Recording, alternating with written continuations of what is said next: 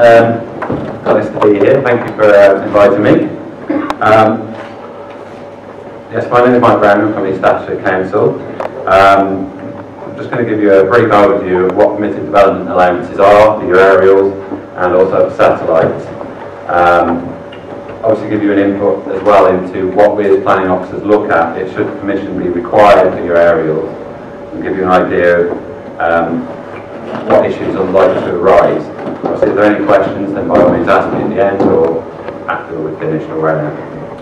Right, if we start with um, aerials themselves, they're considered um, permitted development as long as they are sited within a rear garden and don't exceed three metres in height when in the centre of the garden or two and a half metres in height within two and a half metres of within two metres of the boundary. You can have no more than two uh, antennae anywhere within your domestic garden. Um, and the scale of the antenna cannot be more than 100 centimetres in any linear dimension, not including any projecting feed element, reinforcing rim, mounting or bracket. And the cubic capacity of each antenna must not exceed 35 litres. If attached to the dwelling on the roof, then the antenna must not project more than 60 centimetres above the chimney stack, it must not project more than 60 centimetres in any linear dimension. If you live in a listed building, then permission is going to be needed, come what may.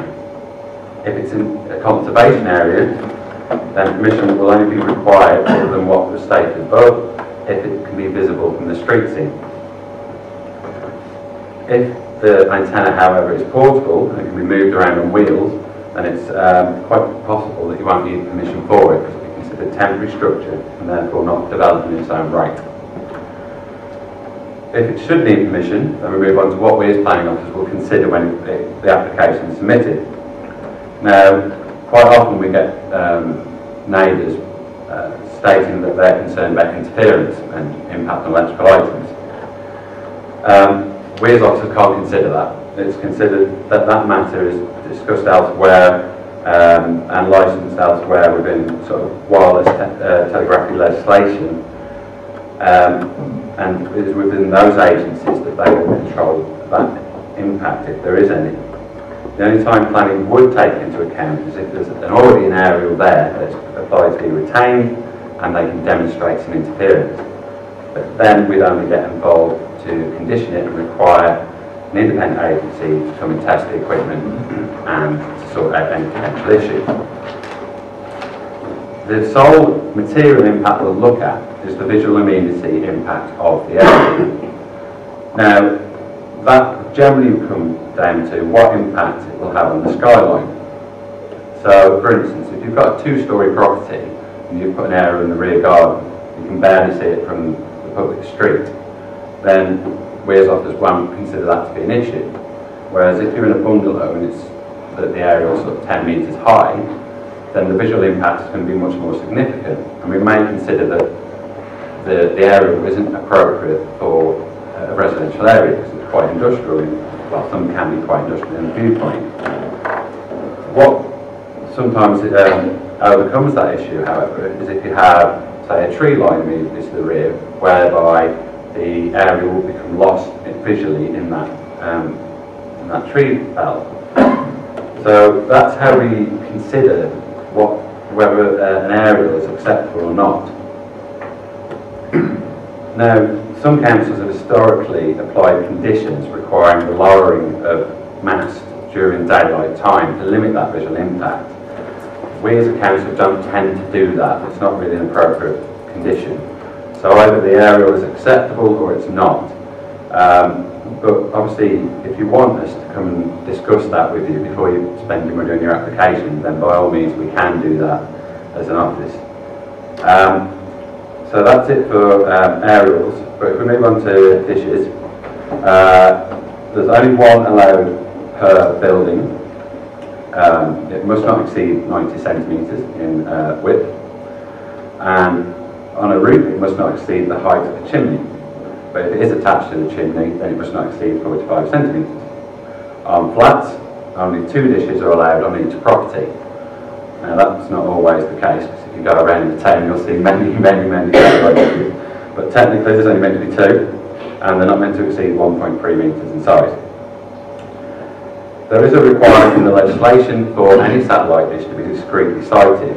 Now, there's no definite about that. So, if you think it's and we don't, then unfortunately it comes down to what our opinion is. So, um, you might have to relocate it if uh, we're not happy with it. Um, so that's really it in terms of what you're allowed to do under planning legislation uh, without requiring consent and how, uh, if it does need consent, we will consider them. So if there's any questions, just let me know. Just a question on, Yeah. you said by the time you're prepared to come out and have a look at the Mhm. implementation of possible antenna. Yeah, Do you make a charge of that? no, free service. Okay. Um, um, you said the maximum height is three metres. Mhm. Now, is that including the aerial on top of it at its maximum height? Yes. Because some aerials are tiltable, Mm. angleable, where three metres may be the maximum height, Yeah, including the aerial. including, yes. So if an aerial is then a tilting aerial above three metres, it's not acceptable. Well, it will need planning It will need permission and then it permission. should be judged against the, uh, the criteria, yeah. Okay, thank you. What happens if you live in a row of bungalows and there's houses all around you? How does the height affect? Um, well, it's still the same uh, dimensions in terms of the three metres. Obviously, what we'll judge then is obviously visually it's a lot more prominent because well, it matches and the needs going to stick up a lot more above the existing built form. But then we look at um, what else is in the street scene. For instance, if there's a number of telegraph poles, street lights, a tree belt, all of which will screen and distract the eye away from the mast, then the visual impact becomes less. Whereas if it's, um, say for instance, on a corner and it's open to the street on all sides, then the visual impact's much greater. Then we might say it's not such a good idea. You're saying that anything which is moving Mhm. has wheels on it, Yes, does not require planning permission. yes. That's okay. Here is a proposition. Okay, So if I build in my backyard yes. a platform Mhm. with four wheels on it Yeah, and a hundred foot mast with a big antenna on top. Yeah. And I can prove that I can move that a few feet in either direction. Mhm. It does not require permission. we might take a point that um, it's not readily movable. I mean, obviously you can move it around your garden, but you can take it out of your garden because it's so big. And therefore... But I can lower it so that well, potentially if you were lowering it down, then maybe we would So consider a that. movable, lowerable, hundred foot mast. Potentially, In my yeah. backyard. Potentially, although, yes. Well, the legislation states that if it's movable, you, you can um, do it. Obviously, if it's a case So whereby, there's no need to expand on that. if it's a case whereby we consider that it was a bit beyond what we need, Can then we you might put it on your front? You should put it on your front garden if No. it was movable. Um, it's visible from the street scene then, and therefore it needs consent in its own right. Um, I mean, if, if you're keeping it there and just moving around the front garden, then Well, no, I mean, the you visual- put it the back of the car to, to the hill and things, No, no, the well, restaurant, you. It's possible. Yeah, I mean, it, it's, it's not a hard and fast rule. I mean, if, if we spot that it's there for weeks on end and it's not moving, then it's going to be a case that we decide then maybe it doesn't need permission. Yes.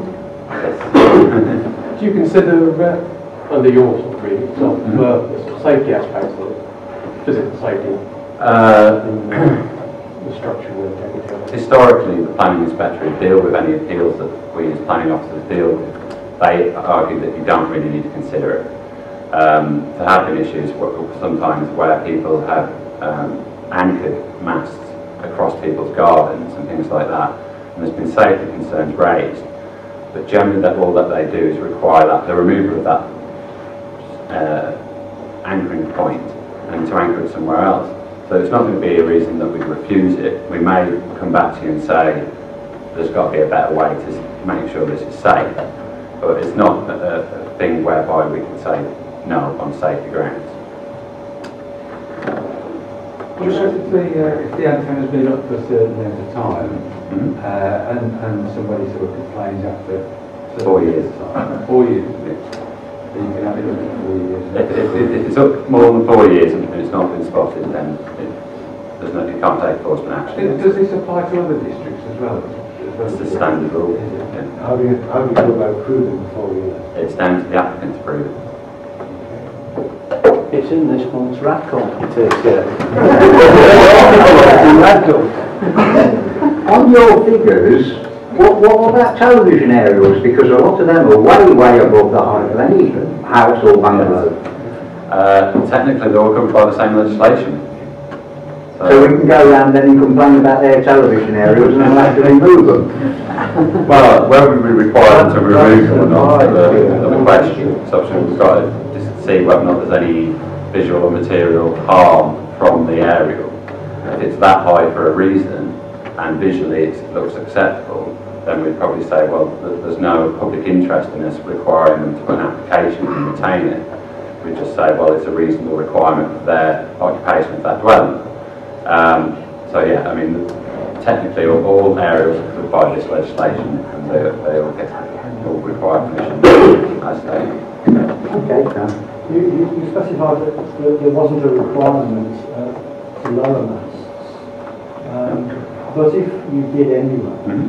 um, then normally it they would be out of sight. Would, would that be in, in, in the favour of any applicant if they do? Not in and of itself, because we can't really control it under planning legislation. It would be considered a reasonable condition to require you to do it and us to go out and monitor it every day to make sure it happens, um, which is generally why um, we don't like to put that sort of condition on, because it's not reasonable for the two parties involved. Um, however, like I say, some planning inspectors have done it in the past, so it's not unheard of that that, sort of requirement is put on. Um, I can't see that we're likely to do it as a planning officer ourselves, um, simply for that reason, we're, we're not going to come out and checking you every day. Yeah, but what I'm suggesting is looking at it in the, the obverse view, Yeah. in the sense that um, if it was going to be lowered anyway, and Mhm. ninety-nine percent of the time it won't be in use, so it'll be lowered out of the way, it would only be uh, a view, only view when it's in use, Yeah. which is probably going to be late at night and maybe it will be dark in there.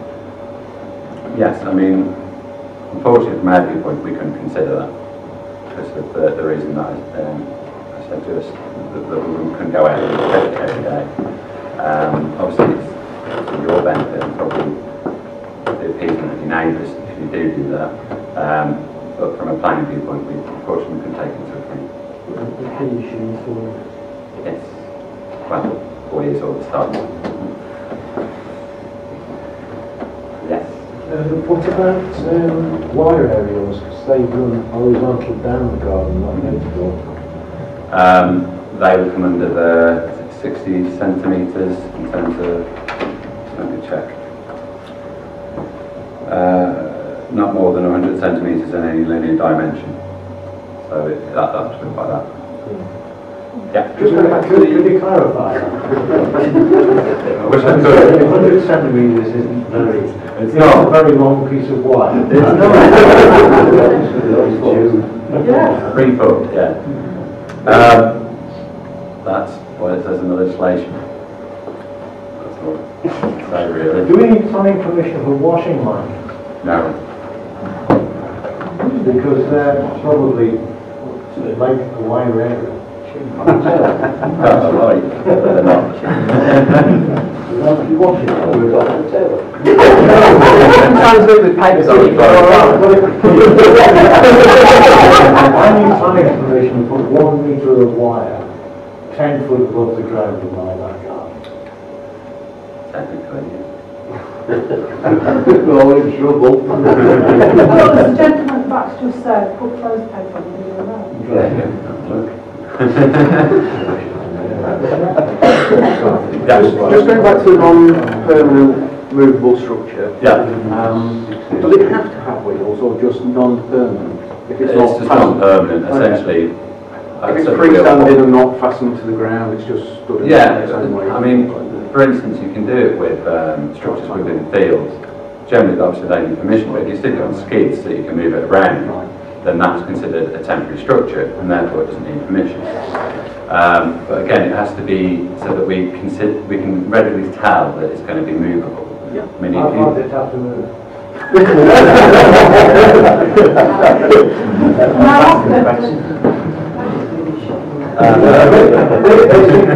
have to move? These are So- Because having been told we can't put more than a metre of wire, ten ten feet above the ground. Well, we're not saying you We can can't. do what we like as long as it's movable, without planning permission.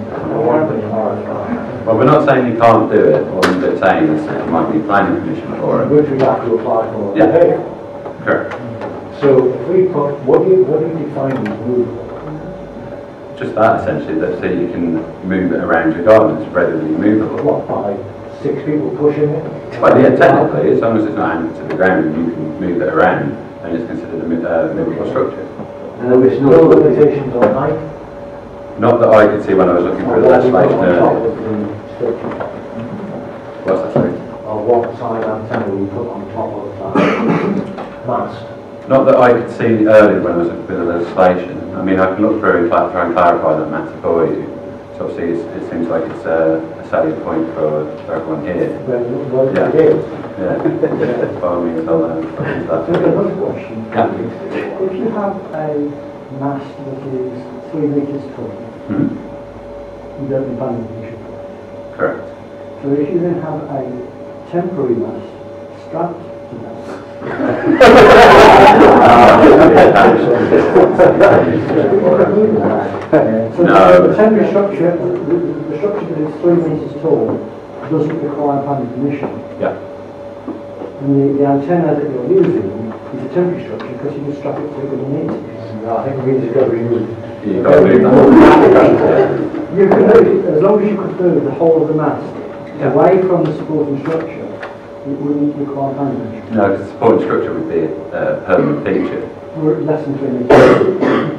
But when you attached your, your mast to it, it would be more than, there'd be a support for that essentially, so yes, um, it needs to be for that. At the back. This has become more of a problem over the recent years for all these people sitting here because of Wi-Fi, wireless phones, all the rest of it. Is all they're trying to do is get their antennas above that and into free space. Do you ever uh, reassess your guidelines that you have to stick to? You know, or is it still in like the 1900s? You know, have you reassessed what your These are guidelines government guidelines, I'm afraid, so it's not that we, not ones that we can set a local council. Um, these are national, so there's nothing that we could do as such unless we brought out specific new guidance just for East Staffordshire uh, to change this. Um, obviously, if you wanted us to, as a council, to look into that, Absolutely. then you need to write in, and then our policy team could look into bringing out some uh, legislation specific for what East Staffordshire. Right. So yeah, if you want to uh, drop me an email or what have you, we can um, look into that for you. Yeah, it, it seems that the, the planning laws, legislation don't seem to be keeping up with the, the radio world the times. No. Uh, but another question is you said it doesn't matter about the size, if it's portable, it doesn't matter about the size of the antennas on the portable mast. Hmm. Does it technically have to be within your boundaries? As in, we're within your garden? If you're putting it in your garden on a portable mast, does it have to be within your parameters, your boundary? The permitted development land is only applied to garden areas, so it would be your garden. If it's beyond that area, say in a field at the back, then it would automatically. No, if, if, if you was to put a, a pole that's 100 metres in your garden which is movable, Yeah. how far out can that antenna go? Oh, Not necessarily high, but how wide That, that wouldn't be a planning matter, it would be more of a legal matter, because you'd be encroaching on your neighbours, I assume. No. um, matters of sort of um, land ownership and where things come, similar with um, downpipes and drain, guttering and things like that. Um, from a planning viewpoint, if your extension is right up to your boundary and then you put a pipe on the, the side, Yeah. we wouldn't consider that because it's illegal rather than a planning matter. Whereas obviously your neighbour might come have a Yeah, word absolutely, yeah. Yeah. Either or. I've just recently had Dudley Council then, Swift and Dudley. Yeah. Or under Dudley. Three metre pole, Mhm. Centre of the garden. Yeah, I've got a small mini beam on. yeah, The end of the beam cannot be within two metres of the boundary. okay, So it's at 2.5 this way and 3.5 that way. yeah, He's passed it. Yeah. But the neighbours still keep complaining. How far do any council go in as much as complaints off neighbours that basically they're just being nasty now? so you've got permission? Yes, but he's not written to tell me this as usual. They never get that, they keep promising, Yeah. we will confirm it in writing. Well, it sounds to me like that would be permitted development, if it's three metres and then two metres away from the boundary. Yeah, Um, so if he hasn't written to you to confirm it, then what he can do is put in a of lawfulness application, which um, would require them to give you a formal written decision um, on your structures. Um, I think they cost, prices have just gone up recently, so. Again, not, not this is a council, this is from the, the government.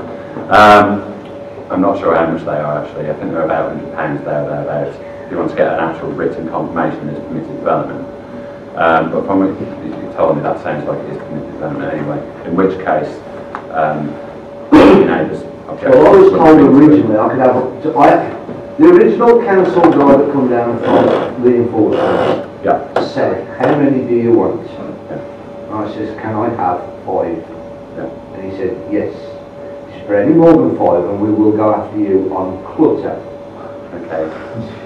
The five, the whole idea was just to really annoy the neighbours now. I've got one, and that's really annoying them. Yeah. Um, I haven't put four more up. I, I think I've just been pushing my luck a bit. well, from what you say, um, that's pretty development, so Yeah, wouldn't be an issue anyway. I mean, like, like I say, from our viewpoint as planning officer, the only thing we look at is visual amenity. It's three metres high, can't imagine you can see it from the street anyway. now, we can't now have had all the hedges cut down deliberately before the council. Nah. That's what I'm doing, yeah. If it's three metres anyway, I mean, Yeah. you're going to lose that against the houses that it's up against. Planting new trees. Right, and I.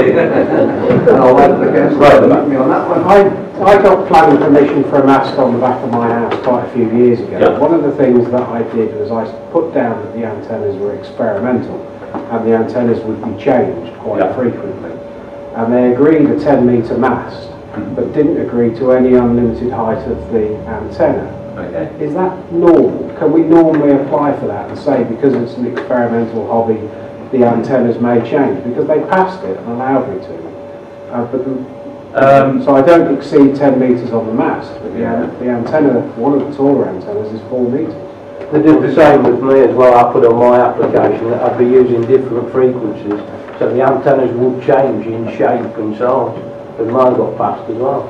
So does that mean I can add a long wire, for instance, onto that antenna without fear of breaching any planning, as long as it's not on a permanent Let's go back and look at the decision notice and see if there's anything to put on there in terms of limitations on that. No, they- It's an anchor point. Nothing on it. Nothing at all, it was just basically the mast will not exceed 10 metres, but the antennas are experimental and you can change them. I mean, it sounds to me like there wouldn't be any limits on it, but I need to look at the specific, what was submitted at the time and Yeah. what the decision notice was. Because I've never had a problem since. Yeah. And I've since changed the mast to a mast that now collapses down, a portable mast, but it's in the same location for convenience. But I was just curious if the other guys here would get away with that. Do you have to be absolutely particular about the antenna and name the antenna?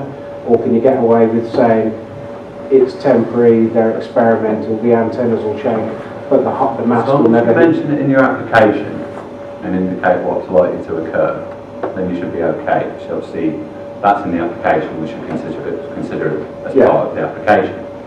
Um, if it's not in there, when you submit it and you go and change it at a later date, then it might be that the officer might. Yeah, I was, I, That My father's an architect, so he did it right for me. So, Ah, go. but that's that's the same game. Is is I don't breach anything by changing it then on that Not basis. like it's all mentioned in- within the application, which should be considered when the Right. permission was Is that something these guys should do as normal?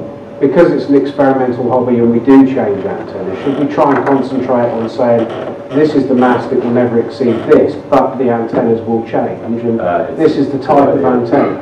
Would it detriment an application? Shouldn't do. Shouldn't.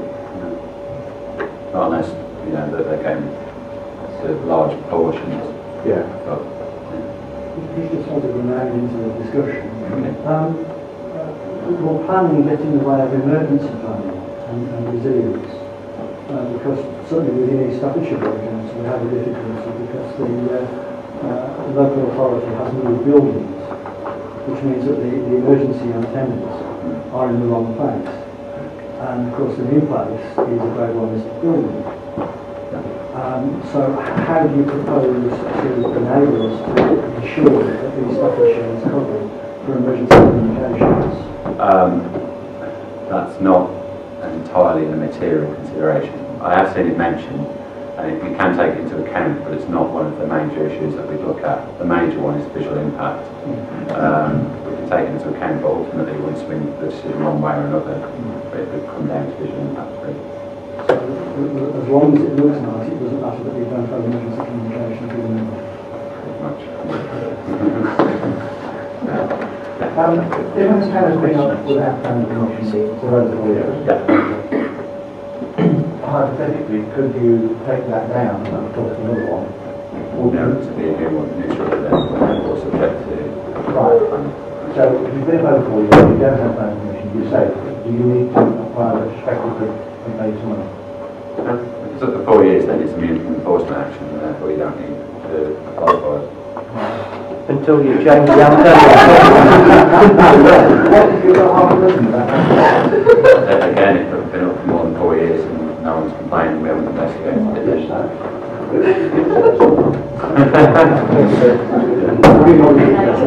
Talk about view from the frontage.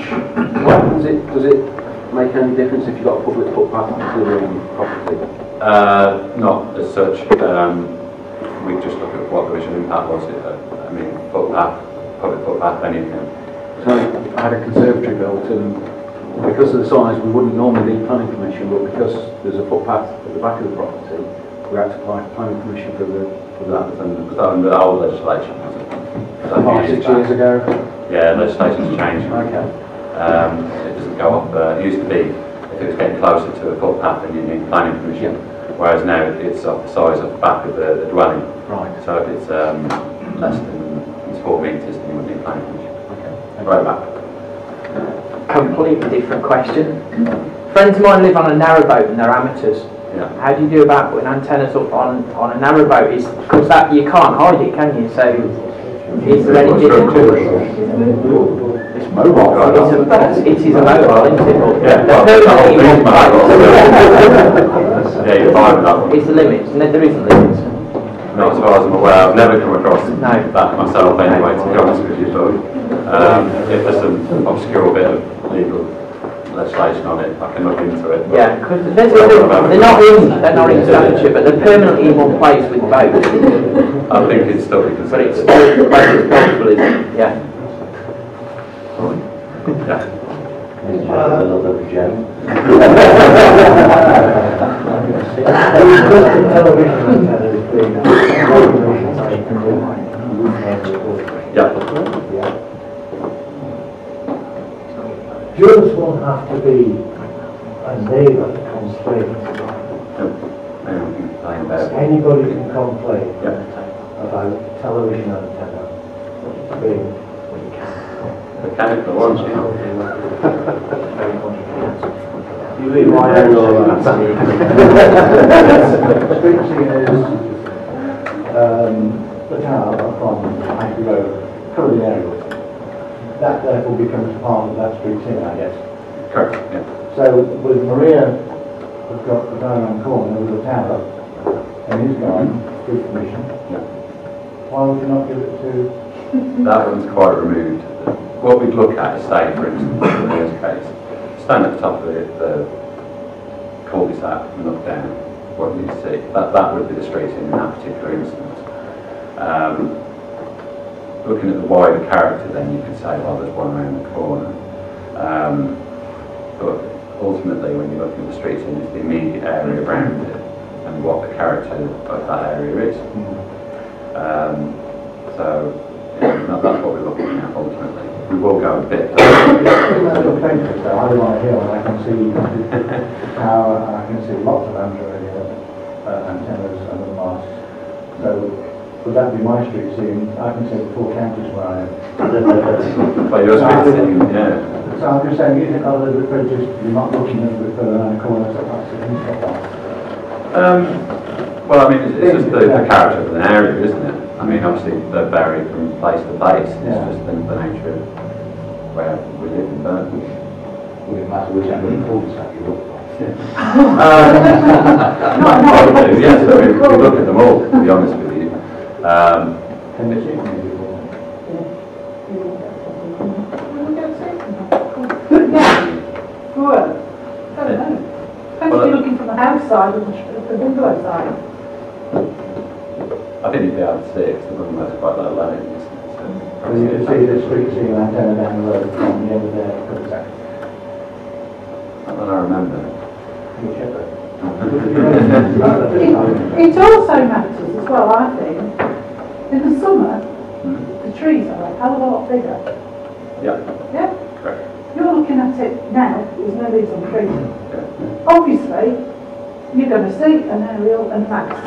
If you came in July, you'd go, oh, what's it? The trees are there. We have to try and consider that within our decisions.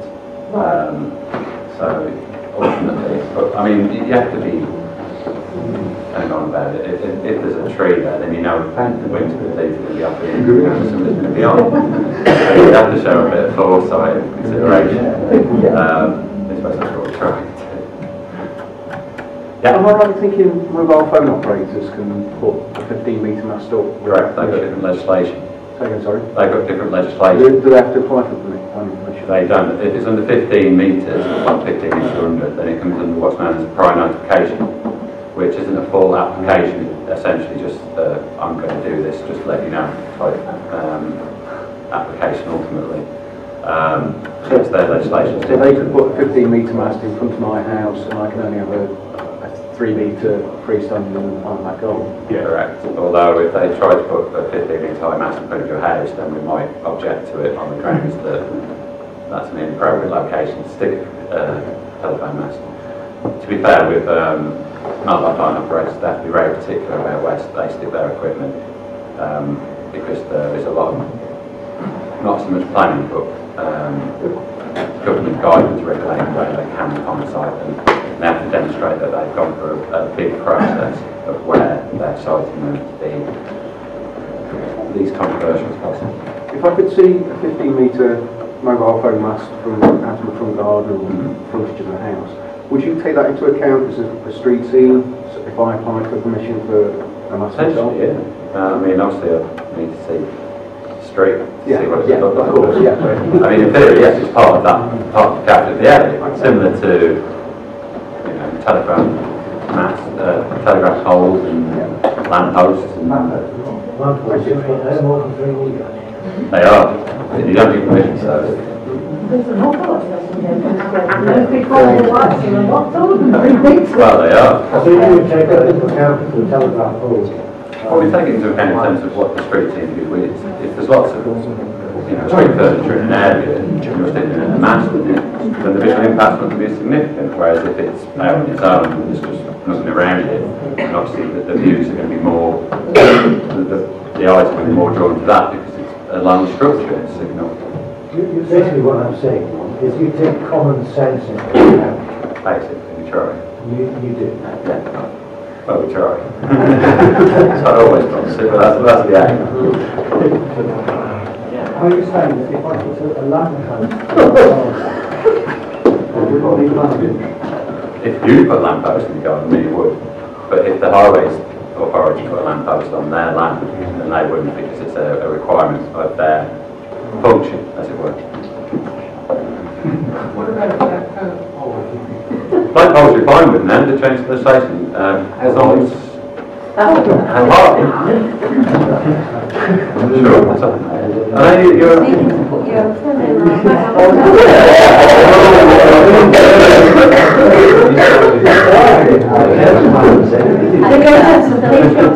It's quite bad, but as long as you've got a right to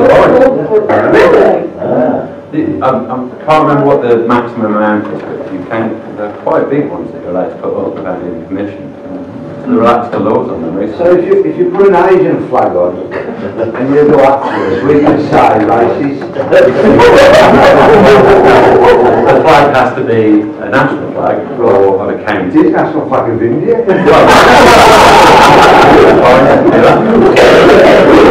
Doesn't the have to be wooden? Whatever you want. So if you want to put a flagpole, You put your antenna inside it. Probably not. So I'm sure there is some policies, I can't remember. off the top of my head. twenty metres, I have seen them. as long as it had flag on the top, like it was twenty metres. Well, like I say, I need to check what the Fixed maximum amount is. floor in my garden, twenty metres high with the flag on top. You you know me the answer. Yeah, I can find the, the answer. Is this flagpole, flagpole, flagpole, flagpole, have to be at ground level, uh, or can it be mounted on top of a Has house? to be, um, vertical. I know that's the vertical, Yeah. It becomes a very big Uh, I believe the legislation just provides, has, means has to be a single freestanding structure. Single freestanding vertical, Yeah, as long as it's got a flag on the top, yeah. material is immaterial. And it wouldn't matter if it necessarily glowed in the dark. But if it glows in the dark, then health might have to be visible.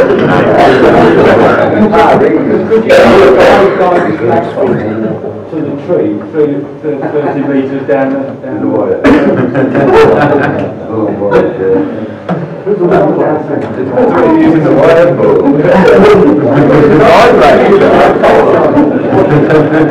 You have to consider it's reasonable for that to be there.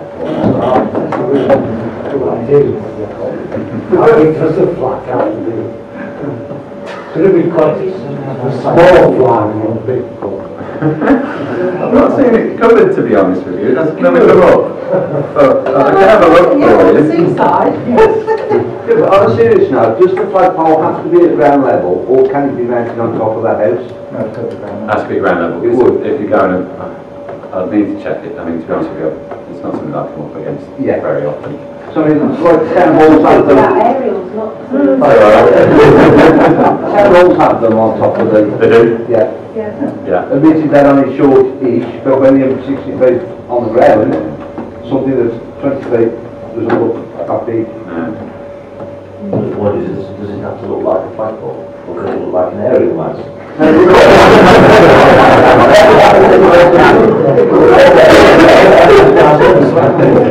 we reverse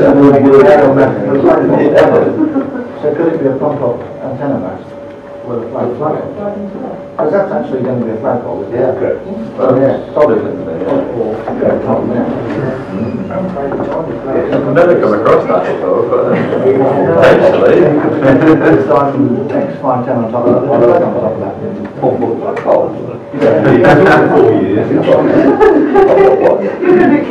applications for black I have a question, are you regretting coming in? I've got lots of interesting things to look up. You spoke of telegraph, you spoke about telegraph poles. Yeah. If they're on your property, do you need planning permission for them? Uh, depends who's putting them up. If it's the telecommunications, if BT for instance, then they have their own permitted development allowances, which let them do quite a lot, to be honest with you, because obviously it's part of their service. If you're sticking it up for your own... There is something like an extension down to the shed or something for the phone with a wire attached to it. Uh, it depends on the size of it, it can understand the permitted development allowances, so again, it can three metres up. Just a quick quick one. Yeah. Would if you have a commercial anyway, Mhm. and you want to put down yellow on, is it falling exactly the same If people are considering the flagpole, if you Google uh, stealth antennas, a lot of the Americans are going down that route. They fiberglass poles with antennas inside them for flags.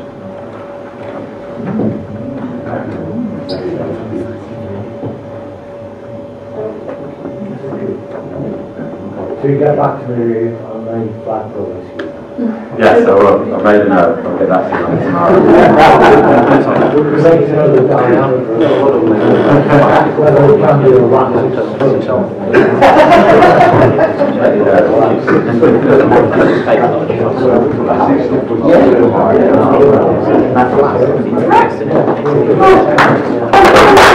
you.